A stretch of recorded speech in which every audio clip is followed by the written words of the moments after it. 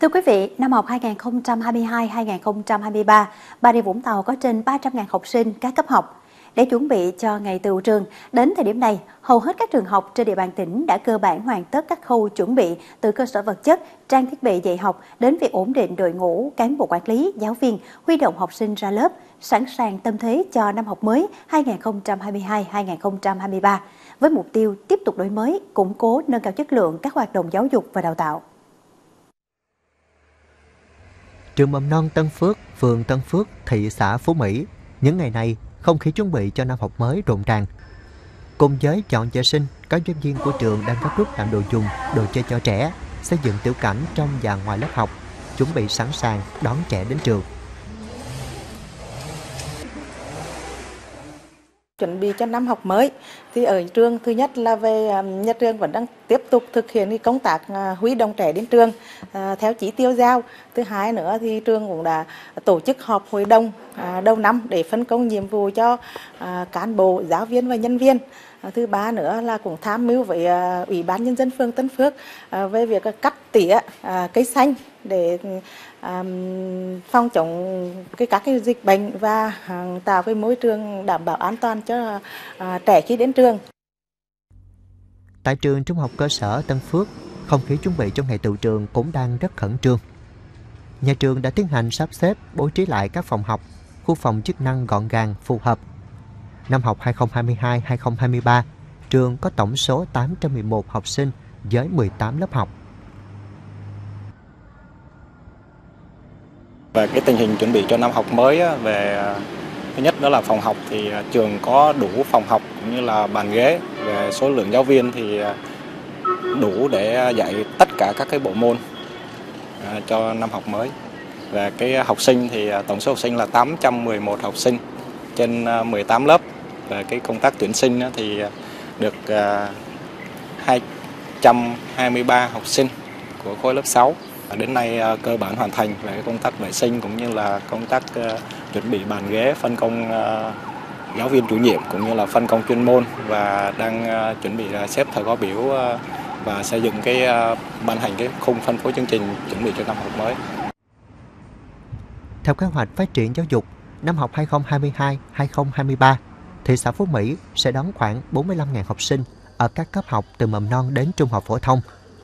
Để chuẩn bị cho năm học mới, thị xã đã đầu tư nâng cấp, sửa chữa nhiều phòng học, phòng làm việc cho giáo viên, các hạng mục phụ trợ, mua sắm trang thiết bị dạy học, bàn ghế, máy tính, từng bước cải thiện điều kiện cơ sở vật chất trường học, lớp học.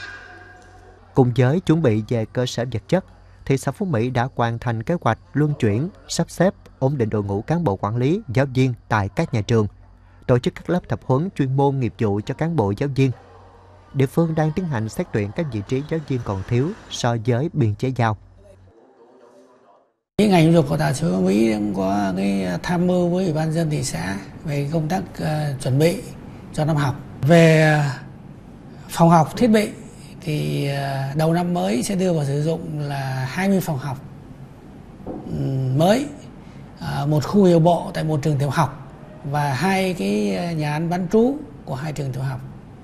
Trong hè thì ban dân thị xã cũng đã chỉ đạo là tu sửa đối với ờ, uh, 8 cái trường học về đội ngũ giáo viên ấy, thì chúng tôi được giao là 1.681 uh, ờ, biên chế uh, trong ngành. Hiện nay thì chúng tôi đã tham mưu uh, Ủy ban thị xã là chuẩn bị xét tuyển đợt 2. Dự kiến là trong uh, giữa của tháng 9 thì sẽ tiến hành xét tuyển đợt 2 với 94 vị trí uh, giáo viên. Cũng như các địa phương khác trong toàn tỉnh, không khí chuẩn bị cho ngày tự trường tại các trường học trên địa bàn huyện Xuyên Mộc cũng đang gấp rút. Trường Trung học cơ sở Phước Bửu, thị trấn Phước Bửu trong năm học mới này dự kiến sẽ đón 1.630 học sinh, trong đó có 460 học sinh khối 6. Ngoài sân sửa lại trường lớp, trồng thêm cây xanh, sửa chữa hệ thống điện đèn, quạt, lắp đặt lại và bổ sung thêm một số bồn rửa tay. Nhà trường còn được huyện đầu tư 11 TV thông minh cho 11 phòng học Việc đầu tư này giúp nhà trường đảm bảo tốt các điều kiện dạy và học cho học sinh khối lớp 6 và lớp 7 theo chương trình giáo dục phổ thông năm 2018.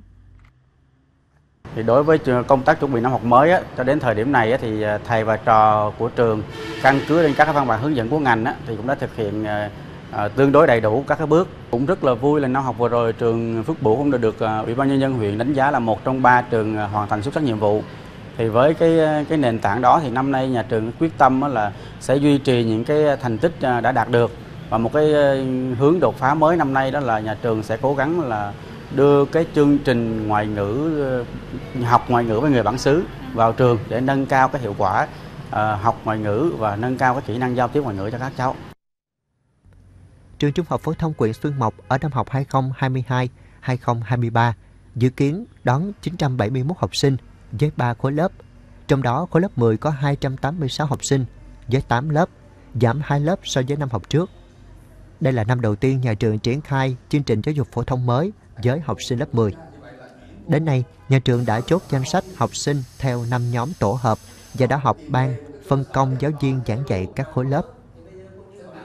Sau khi mà có cái danh sách trúng tuyển á, thì ngày 11 tháng 8 thì nhà trường cũng đã có cái ờ, tập trung học sinh để ờ, cho các em ờ, hướng dẫn cho các em lựa chọn cái tổ hợp bộ môn học dựa theo cái thông tư số 13. Còn về bên chỗ giáo viên thì do cái chương trình năm nay là mới và cũng có cái, để có cái tính kế thừa cho sang năm ở lớp 11 thì trên cái tổng số học giáo viên của trường thì uh, bên nhà trường sẽ cố gắng là sắp xếp cho giáo viên đó, khối 10 đó dạy khối 10 là khoảng ờ, từ ờ, 50 đến ờ, trên 66 học à, giáo viên. Năm học mới 2022-2023, toàn tỉnh có 381 trường công lập, 96 trường tư thục và nhóm trẻ với hơn 300.000 học sinh ở các cấp. Trong dịp hè, các địa phương đã đầu tư sửa chữa nhỏ, cải tạo, chống xuống cấp các trường học với tổng kinh phí khoảng 230 tỷ đồng. Đồng thời, mua sắm trang thiết bị và học tối thiểu cho lớp 2 và lớp 6 với tổng kinh phí khoảng 133 tỷ đồng. Bên cạnh chuẩn bị các điều kiện cơ sở vật chất, trang thiết bị dạy học, ngành cũng ổn định đội ngũ cán bộ quản lý, giáo viên, sẵn sàng tâm thế cho năm học mới 2022-2023 về đội ngũ thì qua rà soát ở các cái à, đơn vị ở khối phòng giáo dục thì chúng tôi à, các huyện thị thành phố đang tăng cường cái việc à, tuyển dụng viên chức trong cái biên chế cho phép. Thì hiện nay là các địa phương đang báo cáo lên là cái nguồn cái nguồn giáo viên mà đăng ký tuyển vào các cái vị trí giáo viên là vẫn gặp khó khăn đối với là tiểu học à, thì toàn tỉnh mình hiện nay là khối giáo viên tiểu học khó khăn là khoảng à, hơn gần 300 giáo viên còn thiếu về tiểu học. Đối với giáo viên văn hóa tiểu học thì có đã có cái giải pháp đó là chúng ta sẽ hợp đồng thỉnh giảng. Mầm non thì hiện nay á, là cũng còn thiếu là toàn tỉnh là khoảng 90 giáo viên thôi. Tuy nhiên cái nguồn tuyển thì chúng ta không khó bởi vì chúng ta có cái trường cao đẳng sư phạm, trung học phổ thông thì trung học cơ sở thì không có thiếu nhiều. Bởi vì cái việc ờ, tuyển của trung học phổ thông, trung học cơ sở thì chúng ta còn nguồn rất là phong phú. Nhằm chia sẻ khó khăn với phụ huynh và học sinh sau đại dịch Covid-19, bảo đảm an sinh xã hội, từ năm học 2022-2023, học phí cho trẻ em mầm non 5 tuổi học sinh trung học cơ sở công lập và ngoài công lập trên địa bàn tỉnh sẽ được miễn 100%. Riêng đối với trẻ nhà trẻ, trẻ mẫu giáo 3 tuổi, 4 tuổi, học sinh trung học phổ thông công lập và ngoài công lập, học viên học tại các cơ sở giáo dục thường xuyên theo chương trình giáo dục phổ thông trên địa bàn tỉnh. Ban Thường vụ tỉnh ủy đã thống nhất chủ trương xây dựng nghị quyết hỗ trợ học phí năm học 2022-2023 cho các đối tượng học sinh này. Dự kiến Tờ trình dự thảo nghị quyết này sẽ trình tại kỳ họp chuyên đề vào tháng 9 tới.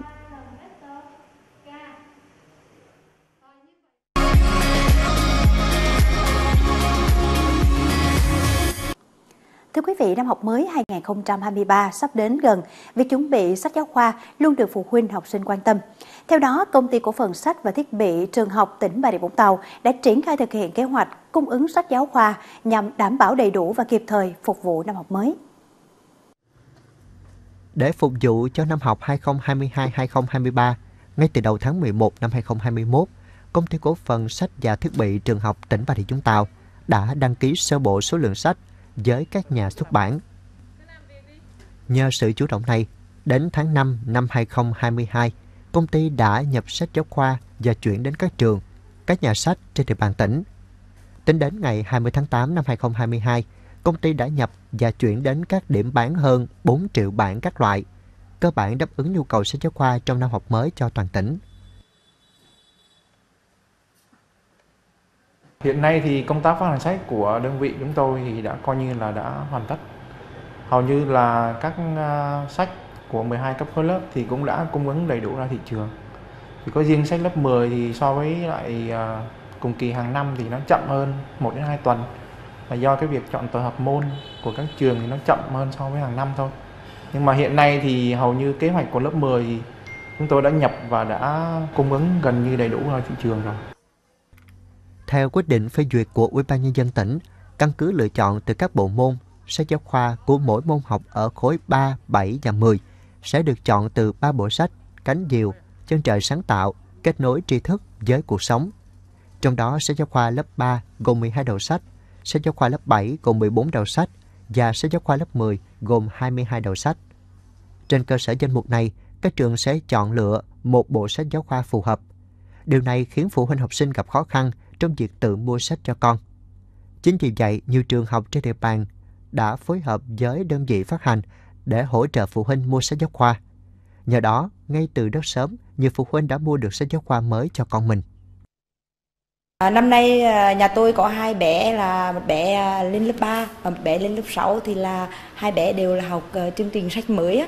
Cho nên là năm nay phụ huynh rất là uh, ai cũng phải là phải chuẩn bị sách mới cho con á. Thì là phải đăng ký ở nhà trường uh, ở, ở, ở nhà trường thì nhà trường đăng ký phòng giáo dục chứ. Mẹ đã đăng ký ở nhà trường và hai bộ sách đã lấy cho con. Nhiều phụ huynh khác thì chọn mua sách ngoài thị trường Năm học mới đến gần cũng là thời điểm các hiệu sách và cửa hàng, đại lý sách trên địa bàn tỉnh luôn tấp nập phụ huynh và học sinh đi mua sắm sách giáo khoa cho năm học mới. Tại các cửa hàng hiệu sách này bày bán đầy đủ các bộ sách giáo khoa, kể cả sách theo chương trình giáo dục phổ thông mới lần đầu tiên đưa vào giảng dạy ở lớp 3, lớp 7 và lớp 10 trong năm học tới. Kết thúc năm học á, là bắt đầu à, em đã chuẩn bị sách cho các bé rồi. Để cho các bé có thời gian xem lại ờ, xem sách vở trước á làm quen với các cái uh, sách giáo khoa trước. Uh, mình không đòi hỏi là các bé phải học nhiều vào dịp hè nhưng mà mình sẽ cho các bé làm quen rồi là uh, các bé uh, um, có thời gian xem lại bài một tí để chuẩn bị cho năm học mới. Thì hôm nay là em đi kiếm thêm một vài bộ sách để cho các bé tham khảo không phải phụ huynh nào cũng có điều kiện mua sách giáo khoa cho con khi mua sách cần chú ý đến số lượng đầu sách theo danh mục để tránh mua thừa những sách không cần thiết. Sở cũng chỉ đạo các nhà trường thuộc sở, các phòng giáo dục đào tạo bố trí nguồn kinh phí bổ sung sách giáo khoa cho thư viện để học sinh mượn học tập, đồng thời vận động học sinh ủng hộ sách giáo khoa cũ cho thư viện để học sinh các lớp sau được mượn sử dụng.